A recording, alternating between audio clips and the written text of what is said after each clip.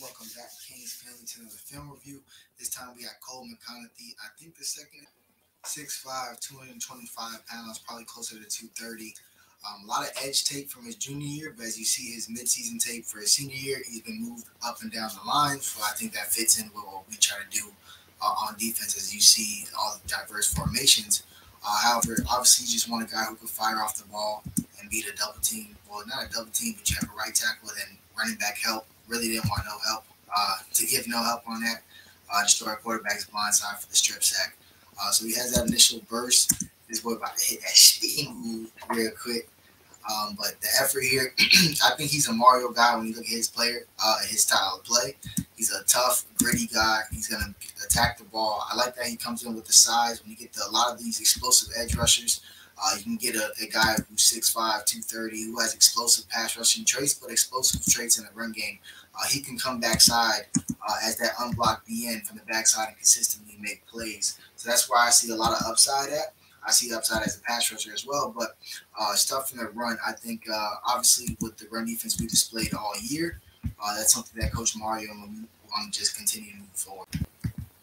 Obviously, you got to be able to rush the passer, Canes family. So if you're a DN, uh, that's going to be a defining trait. And one of those defining traits is the burst off the line of scrimmage. So here he is out wide, wide nine, just straight spin and uh, speed and burst uh, on that uh, wide rush here. So you got to be able, you got to be able to bend. You got to be able to move. That first step is crucial. I think he's a physical player, a physical player that makes plays in the backfield. You'll see here they try to set something up. He's going to just disengage. Love the way he uses his hands, swipes through. Now he has a clean rush to that quarterback. That play had no chance uh, with that. So I love the fact that he's able to swipe. Shows he has some technicality to his game. Already has that size, like you mentioned. He'll come into Miami 6'5", 230, you know, or plus. Uh, here comes the power. Uh, so he obviously he's stronger and bigger than people he plays against. Um, but that's what you're supposed to do when you play against that competition.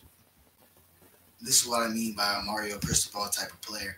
Uh, someone who can consistently win on that backside. Who's going to defeat that wham block coming here from the edge um, from the opposite. So you're just to come through and just destroy, you know, they un- they're leaving you unblocked, uh, and you just come through.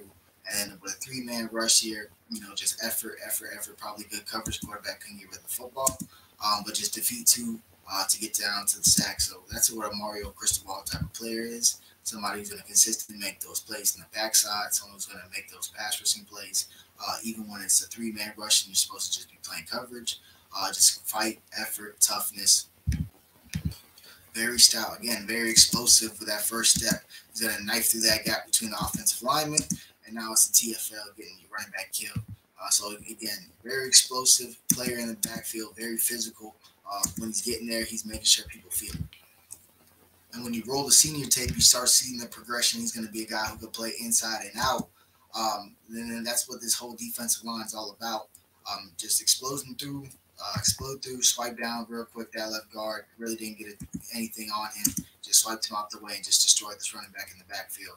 Very physical football player. Again, fits what Mario Cristobal is all about. With the physicality here, now he's dropping into space. And the coverage gets out the right, um, out the way, makes the tackle in space uh, on the wheel route. But again, in the backfield, very strong. Now he's versatile. You see on tape now as a senior.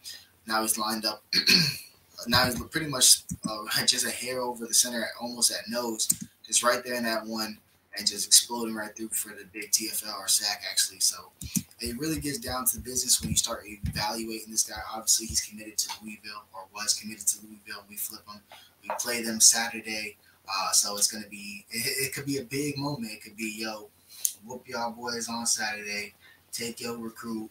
The Snelly Trophy comes home uh, first of its kind. I think the Schnellenberger Trophy. I don't know if it's been done before, but between us and Louisville, they're trying to make it a rivalry. Obviously, Louisville recruits South Florida, and obviously we're taking some of their national recruits. So, have that trophy in our back pocket could be a great weekend. Go Canes!